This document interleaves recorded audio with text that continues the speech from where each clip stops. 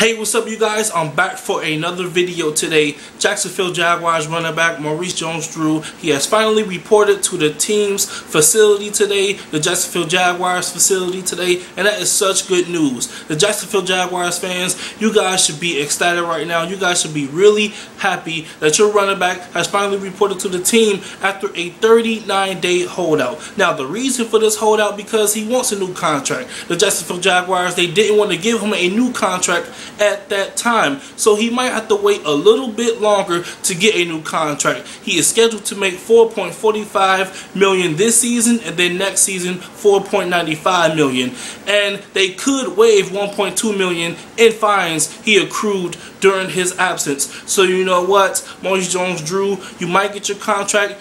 Then again, you might not right now. It's going to take some time for you to get your new contract. But this is such good news. He rushed for a league high 1,606 rushing yards to go along with eight touchdowns. The NFL's rushing leader last year. So that's really good. And Maurice Jones-Drew, he one, he's one of the best running backs in the game today. And it's good to see that he has reported back to his team.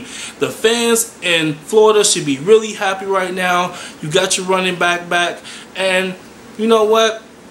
This should be good for everybody because getting to see a running back like this reported to his team, getting ready to work because week one starts on Wednesday, but that's the Giants versus the Cowboys game. But they start on Sunday, which is next Sunday. They play the Minnesota Vikings, Adrian Peterson and the Minnesota Vikings. So you know what? Get ready for that game. Have a very good, productive season, and good luck to the Jacksonville Jaguars. You guys are in the AFC South with my Indianapolis Colts along with the Tennessee Titans and as well as the favorite to win the division, the Houston Texans. So good luck to the Jacksonville Jaguars, the Tennessee Titans, the Houston Texans. Better yet, good luck to everybody this year. Good luck to all 32 teams because it's going to be a phenomenal and explosive year. I cannot wait till week one gets started. The Giants and the Cowboys in New York, it's about to be amazing. This is your boy DJ Charlie. I'm out of here. See you guys on the next video. Make sure you guys like this video, share it on your Facebook and your Twitter, and also subscribe to this channel. And don't be afraid to click that subscribe button. Peace.